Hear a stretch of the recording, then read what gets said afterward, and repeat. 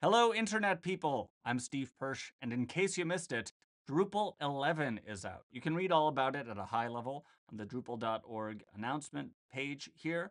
One of the features that I'm most excited about is this single directory components feature. This is a new approach to theming. It provides simplified front-end development workflow based on components. All the necessary code for each component lives in a single directory, making it self-contained and reusable. If we click through here, we'll get to the detailed documentation. On the surface here, this might look like a relatively small change. If we look at the directory structure, we'll see that single directory components, like the name says, are a directory, a single directory inside the components directory, inside your theme. Inside that directory, you get a twig file. That's the template itself. That's required.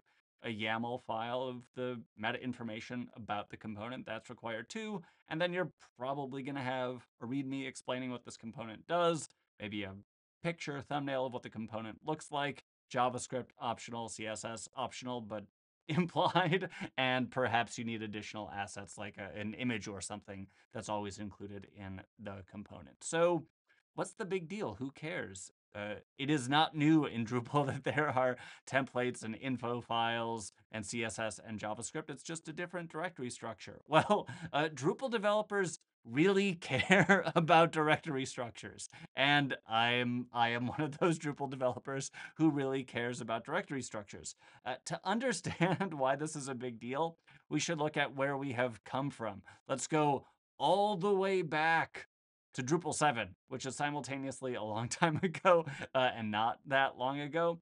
I have here an old Drupal 7 site that is still kind of uh, on the internet, and there are you know a handful of themes available. There's the, the Zen theme, and what we're looking at here is the administrative Seven theme. We can add content, and we'll still be inside of the, the Seven theme here.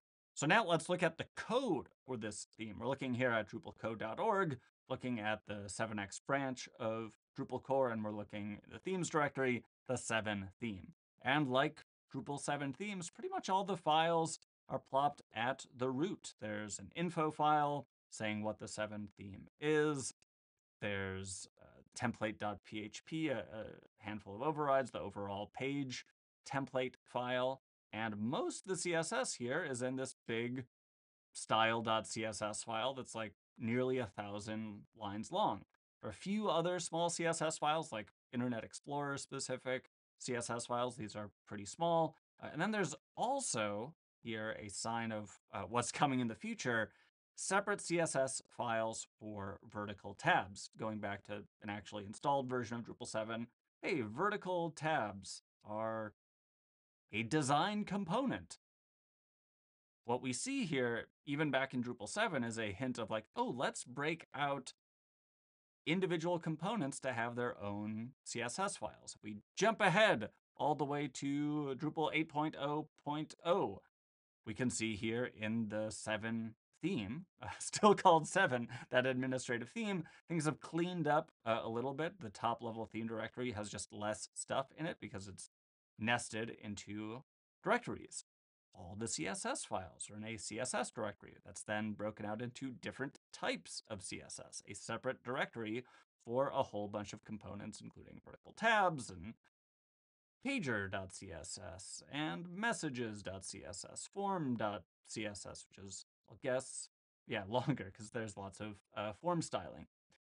We're trending here between Drupal 7 and Drupal 8 towards a more intentional, more structured approach to isolating uh, design elements.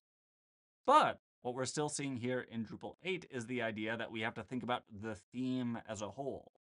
Sure, we can just think about the vertical tabs CSS, but if we're thinking about the template of vertical tabs and maybe JavaScript that goes along with it, we're coming back in the directory structure, back up top to think about the whole theme.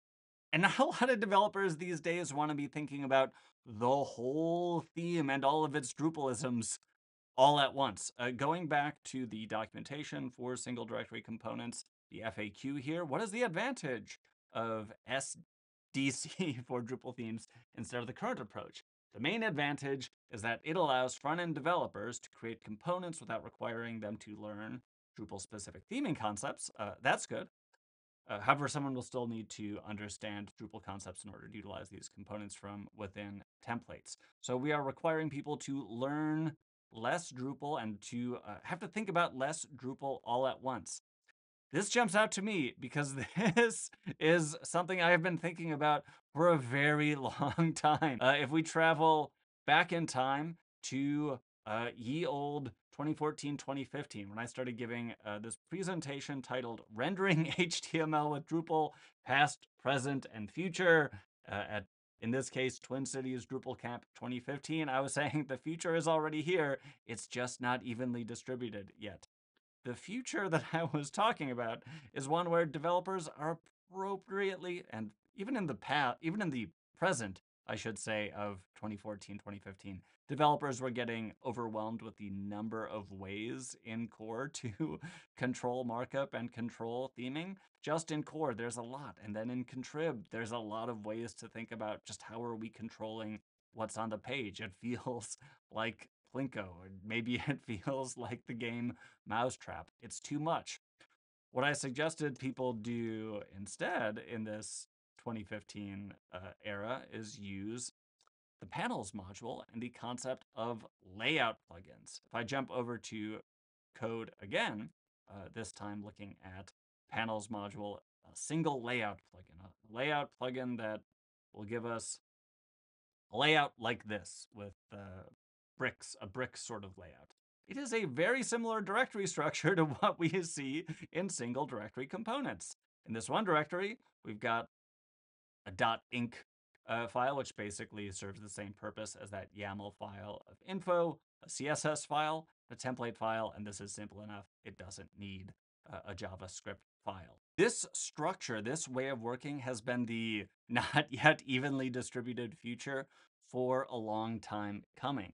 This approach means we don't have to start by thinking about the Drupalisms when you go from whatever your design source is, be it in the past of 2014, 2015, InDesign or Photoshop as the place you design a website to now Figma uh, perhaps as the place you design a website. We don't have to jump straight to the Drupalisms of, is this a custom block or is this the rendering of a node? And if so, which view mode? No, we can start by saying, let's just slice up the individual elements that look like the boundaries between the places we should be thinking of as design components, figure out what we call those components, and then we'll wire up the Drupalisms later. Back in Drupal 7 land, I would do that wiring up in the panels ecosystem.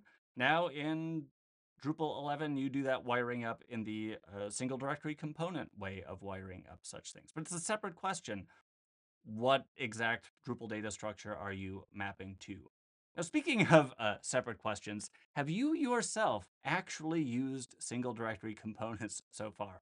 I should say I have not, uh, but I am eager to try them out uh, on my own site or, or Pantheon's uh, soon to be Drupal 11 site now that they're in core and fully stable. So let me know in the comments what uh, you think about single directory components. And of course, if you want to try them out on Pantheon, you can always spin up a, a new, fresh version of Drupal core there to try out this feature or any of the other features in Drupal. Thanks so much.